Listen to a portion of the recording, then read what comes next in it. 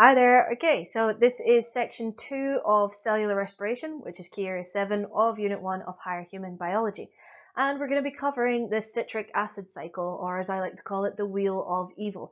It's not actually that bad. It's just once you see the full diagram of it, it does look a bit intimidating. But overall, in terms of what you need to be able to say about it, it it's not it's not too bad. I think. Uh, right, so the citric acid cycle is the second stage of aerobic respiration. It will only occur if the cell has a supply of oxygen. Now, you already know that from National 5. The idea is it's moving into the aerobic respiration territory now in the mitochondria.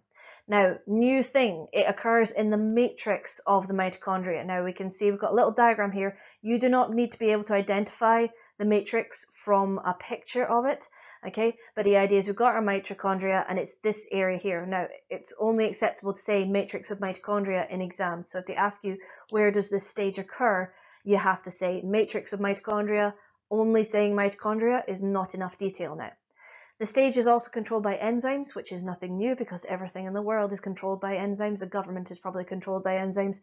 Okay, so only if the cell has oxygen, it's in the matrix of mitochondria and it's controlled by enzymes. And basically, it's the first part of aerobic respiration if we're moving away from that first stage that started in the cytoplasm. Now, this is going to end up being the diagram of the citric acid cycle here. Um, there are a few compounds in here that you must know the names of, and you need to be able to explain what is happening at most stages of this.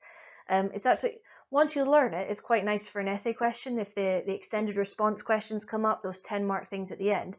But a lot of people do struggle with this, so I'm going to try and focus on what the basic things that might crop up to learn are, um, and then we'll get into more complicated territory afterwards. So, you've got your pyruvate from stage one, glycolysis, okay? Now, the idea is I've got 3C written under pyruvate. That's talking about how many carbons there are. It actually really helps you to track the number of carbons in these molecules because it, it kind of starts to make a lot of sense.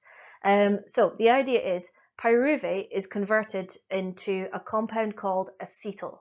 Okay, now acetyl is a two carbon compound, so if we've lost that carbon, the idea is we've lost it in the form of CO2. Anytime we're losing carbon, we don't just lose carbon by itself, we, we lose it as CO2. Okay, now, you notice it's not just called acetyl on that diagram, it's called acetyl-CoA. That's because acetyl itself can't exist all by itself. So it's picked up by uh, an enzyme called basically coenzyme A. So acetyl-CoA means coenzyme A has picked up the acetyl. Okay. Now, coenzyme A drops the acetyl off in the citric acid cycle. Okay. And what happens here is acetyl is going to combine with a compound called oxaloacetate. I've gone too far there. Okay, is going to combine with a compound called oxaloacetate. Now, lots of people hate the spelling of this word, they hate it, but it's a four carbon compound. Now, the idea is we've got a four carbon compound combining with two carbons of acetyl, we end up with a six carbon compound called citrate. Common exam question is um, what combines with acetyl to create citrate? And the idea is you have to say oxaloacetate or more alternatively, what happens to acetyl when it enters the citric acid cycle? You have to say it combines with oxaloacetate to form citrate. Okay, so first two important names of things, oxaloacetate is the four carbon compound, citrate is the six carbon compound. Okay, sometimes in uh, internet resources you might see this referred to as citric acid. Just like you cannot call pyruvate pyruvic acid, you must call citrate citrate. You can't call it citric acid. Okay. Now the idea behind this wheel of evil here is citrate is going to get broken down. It's going to start losing its carbons. And remember, if it's losing carbons, it loses them as carbon dioxide. So we go from six carbon citrate to a five carbon compound. And the idea is we lose more CO2 and we end up with a four carbon compound. Then we don't lose any CO2 and we stay with a four carbon compound and then something happens and it's converted back to oxaloacetate. So names of compounds in this that you need to know are two. Sorry, three. Let's go for three. You need to know the name of acetyl and the fact that acetyl-CoA is acetyl plus coenzyme A. Okay. You need to know the name of citrate and you need to know the name of oxaloacetate. All these others, the five, the four, the four, you don't need to know anything about them. Okay, you just need to know that they exist. You don't need to know that they're five carbons. You don't need to know that they're four carbons. I have only put that information there because it might help it make a bit of sense to you. Okay, so we've lost our carbon dioxide here. We've lost our carbon dioxide here. No more carbon dioxide losses occur. Okay, as we're going through this process, as it goes through the wheel of evil, the idea is we get uh, dehydrogenase enzymes doing their jobs. Now, dehydrogenase enzymes, the idea is they are cleaving hydrogen and their electrons off of these compounds and passing them to NAD to create NADH. So we get NADH being formed.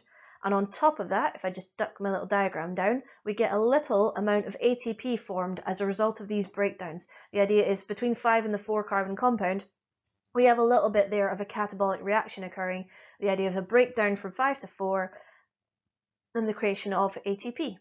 Okay, so this diagram, it's horrific to look at, but in terms of things you need to be able to say, right, so we've gone from a five carbon to a four carbon, which means we've lost a carbon in the form of carbon dioxide. That's not the hardest thing to work out. NAD is being turned into NADH in both stages one and two. So hopefully you can just remember the presence of that. And then we've got our idea of tiny bit of ATP, oxaloacetate and citrate. So I'd say there's quite a lot to learn there, but there's also, you know, it's not too much. It's not overwhelming amounts to learn for the citric acid cycle. Okay, but this is everything that's there. So I'm going to summarize again very, very quickly. The idea, pyruvate converted to acetyl, picked up by coenzyme A, which carries it to the citric acid cycle. We've lost one carbon dioxide. Okay, acetyl combines with oxaloacetate to form citrate. Citrate is broken down through a series of reactions to create carbon dioxide, NADH, and a small amount of ATP. That's the summary. And there you go. It's in words. I didn't know that slide was coming. Okay, so if you are asked in an exam, describe the citric acid cycle and it's worth five marks or 10 marks or something like that, these are the words that you want to be using. Okay, so pyruvate converted to acetyl, carried by coenzyme A to the citric acid cycle, Acetyl combines with oxaloacetate to form citrate. A series of enzyme-controlled reactions breaks down citrate, releasing carbon dioxide. Dehydrogenase enzymes remove hydrogen during the cycle, pass hydrogen ions and electrons to NAD to create NADH, and a small amount of ATP is created. Five facts. I think it is possible to learn these five facts about this process. Okay? Okay. So to summarize, pyruvate loses one CO2 to become an acetyl group. Acetyl combines with coenzyme A to form acetyl coenzyme A. Oxaloacetate combines with acetyl to form citrate.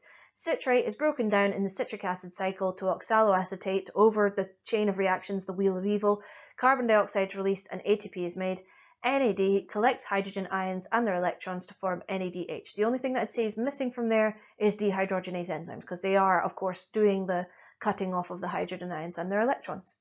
So that's the citric acid cycle. If you couldn't really get that, this slide is really going to help you. I'd get them made up as flashcards or things like that because I actually think that this slide is enormously useful in just stating the roles of the main things that you need to know.